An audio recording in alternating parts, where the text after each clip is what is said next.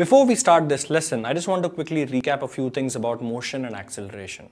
In any kind of motion, acceleration can be of three kinds. It could either be zero, which means that the velocity change is zero over a period of time. The velocity is constant. This is a classic example of a uniform motion because the body will cover equal distances in equal times.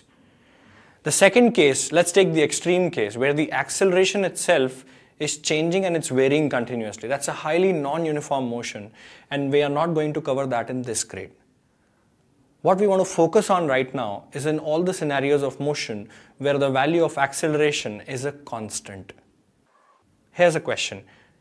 All these scenarios of motion where the value of acceleration is a constant, is that a uniform motion or a non-uniform motion? It is a non-uniform motion. Even though the acceleration is constant, what that means is that the velocity is changing. It is just that the rate of change of velocity in equal intervals of time is going to be the same.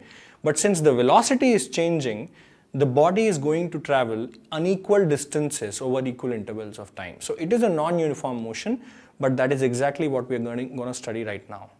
When an object moves in a straight line with a constant acceleration, it is possible to relate the various parameters of this motion like the distance traveled, the amount of time taken, the velocity and the value of that constant acceleration with each other. There are three equations of motion. There are three such equations and we'll start with studying the first equation. The first equation is this. It's v is equal to u plus at.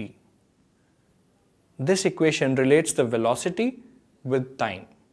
v is the final velocity u is the initial velocity, t is the time and a is the value of the constant acceleration.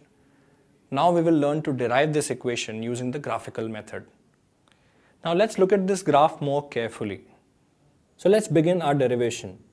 You can see that this length BC, the length BC can be expressed as BD plus DC or we can say it's BD plus OA which can also be expressed as BD plus U and BC is V. So what we can say is that V is equal to BD plus U or BD is equal to V minus U. That's our equation number one. Now we already know that the value of acceleration, we already know the formula of acceleration. Acceleration is V minus U upon T. V minus U is nothing but BD. So we can say that A is equal to BD upon T or BD is equal to AT. This is our equation number 2 from equations 1 and 2 we can see that at is equal to v minus u or we can say that v is equal to u plus at.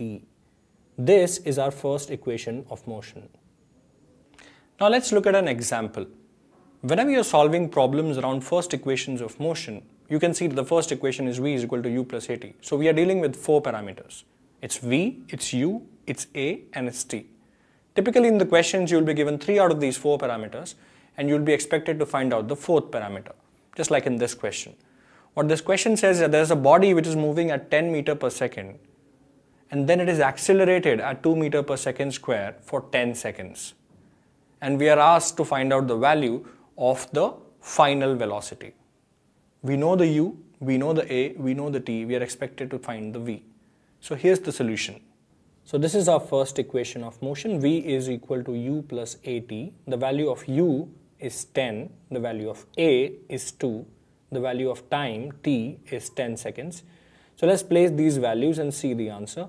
It will be 10 plus 2 into 10 is equal to 10 plus 20 which is 30 meter per second. That's our final velocity. Now let's look at another example. A body starts from rest and it starts accelerating with an acceleration of 12 meter per second square.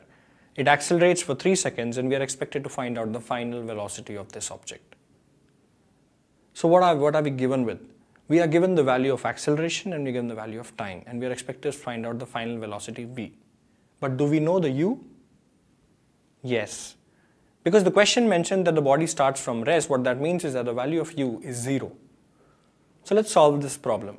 We'll use the first equation of motion, v is equal to u plus at, u is 0, a is 12, t is 3, so the answer comes out to be 36 meter per second. So in this lesson, we learned about the first equation of motion and we also learned how to derive it with a graphical method.